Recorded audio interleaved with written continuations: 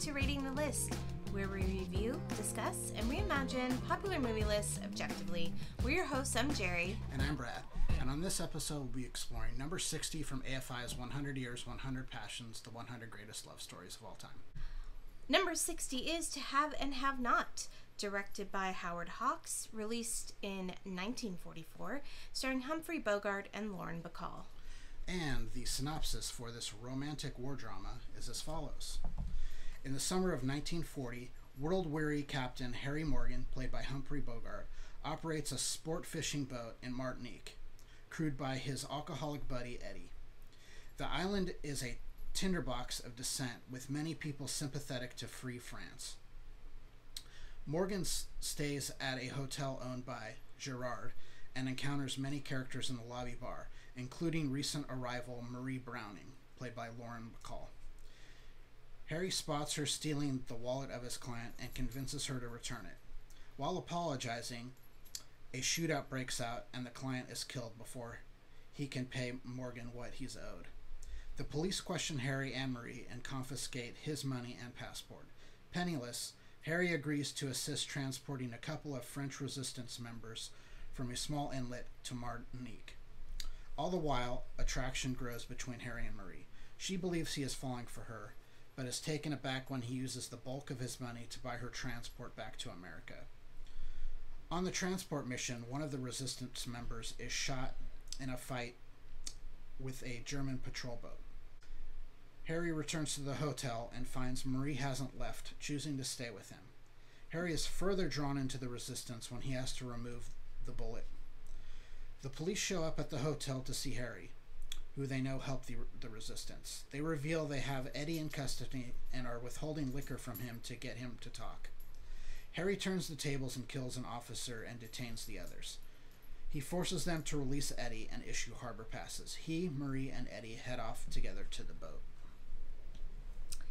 All right. Um, I feel like Humphrey Bogart, like, he kind of plays the same dude. He kind of owns this role, yeah. He kind of owns it. Like, he's like super smooth and like, Yeah, this guy could be, uh, honestly, it could be Sam from Casablanca. It's it's Yeah, essentially the it's same character. the same character. Um, not that that's a bad thing. Like, he's still really good. Yeah, Um, except his his jeans bothered me. Yeah, his yeah, he- fishing jeans. his his fishing jeans look like mom jeans. they were total mom jeans. Um, but uh, yeah, so his character was good. He was super smooth. He kind of had like he was one of the regs, and he, Yeah, like you he- know, he's you know he's an American. He's he's working in Martinique, and he has been there long enough to understand the political situation, how to steer clear of both sides of it. Like he's obviously sympathetic to the resistance, but he doesn't want to piss off the Vichy who are in charge. So he, you know, he just he just walks the line, and he just kind of puts his head down and does his he's job just just trying to make money. he's just trying to, to make a living, you know, taking guys out from marlin hunting and things like that. And he's just he doesn't want to he doesn't want to get involved. Yeah. yeah. Um, Lauren Bacall. She's a smoke show. right? Huh? And she kind of like she.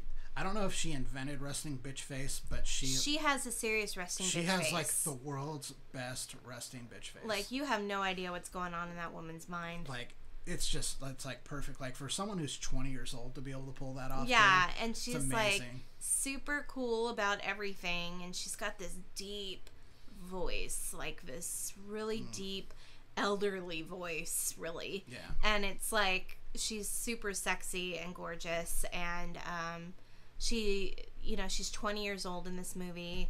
And she does a really good job. She holds her own against Humphrey Bogart. I guess like they're they were an item. So they uh, they started an affair Mm. um, during this movie, and then shortly after that, um, I think he was married at the time, and I think after that, he divorced, and they were married then until he died. Wow. So they were together for a very long time. Wow, that's crazy. Um, yeah, I mean they had mad chemistry in this Yeah. movie, like off the charts. Yeah, Um, a lot of chemistry, a lot of chemistry between the whole. yeah. It's a really Uh, it's a really well cast cast. movie. Yeah, real a lot of chemistry between all of them. Um, it lost me a little bit at times. It was a little slow, but I other than that, it was it was a great story. The thing I like the most about it is I like when a movie trusts the audience to understand what's going on. Like you don't have to have a you know a you know a history degree. You don't have to have studied World War II to understand precisely what's going on here. I mean, one of the things you know you have to. This is a you know this is a Hemingway story, so Yeah, you- written by it was a novel written by Ernest Hemingway. so, you know, it's going to take place on the water most likely. There's going to be some, you know, medical stuff involved. It's going to deal with a war. It's going to deal with man stuff. it's going to deal with, you know, man versus nature or Money. or man versus the system. I mean, that's just kind of, you know, he's got That's his bag. he's got some themes that he worked with quite a bit. So Mm-hmm. um, we see them all in this one. This is not a book of his that I, I'd written or I'd read. So You uh, you wrote it? I did. I was I was his I was his ghostwriter. No, people people people don't realize that.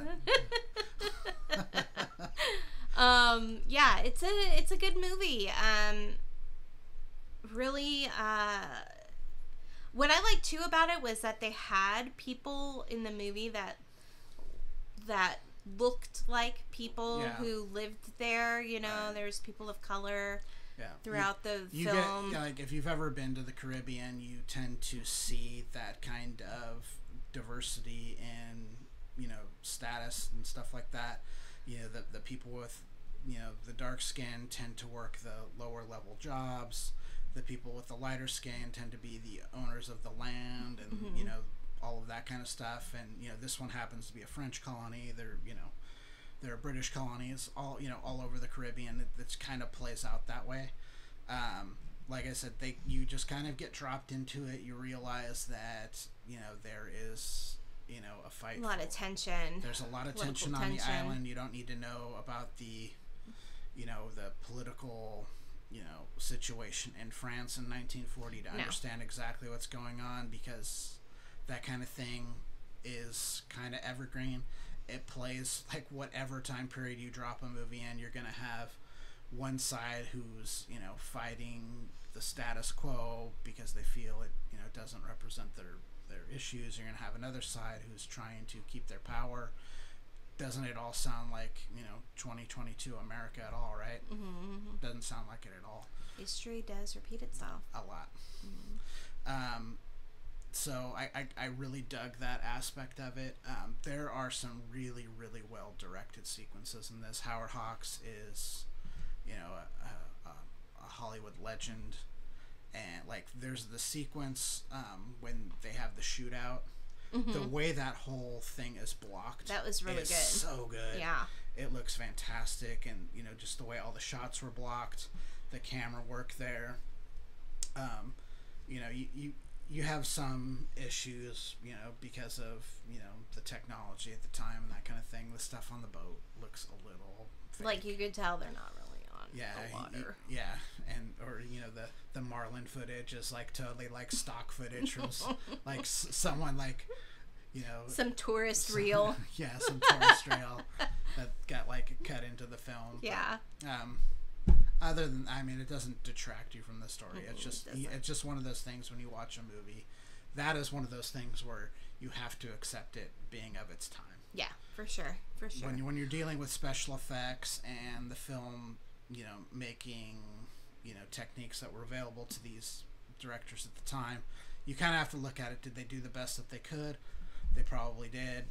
You got, you know, you just kind of have to live with that and kind of. i'm wondering it. if they could remake this movie today I think you could probably could.